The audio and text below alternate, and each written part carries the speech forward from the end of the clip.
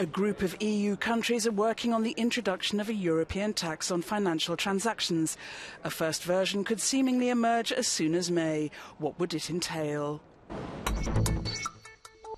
The tax on financial transactions would cover transactions in shares and derivatives on exchange markets. It would be pretty low, one tenth or one hundredth of a percent per transaction. Its aim is to discourage certain types of transactions which are found to be too speculative, which have the potential to destabilise markets. They serve especially speculators and for those who need to do these transactions.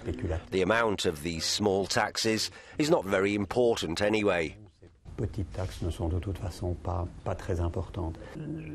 Regarding the use of that tax, the objectives have varied over time.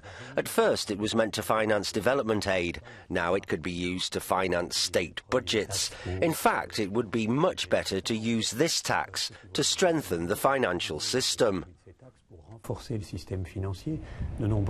Many financial institutions, many banks are still too fragile. They're financed by governments, that is to say, by taxpayers. They are subsidised by taxpayers. The financial system does not actually bear the cost of reducing its systemic risk. And therefore, the use of such a tax to strengthen financial infrastructure would probably be the most useful way to use it. Taxes on financial transactions have been tried in different countries. That's still the case in Britain, Brazil or Italy, with varying results.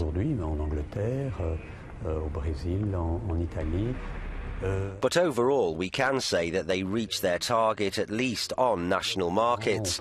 On international markets, such taxes have not really been tested because the risk of possible relocation of financial firms outside the EU was deemed too big until now.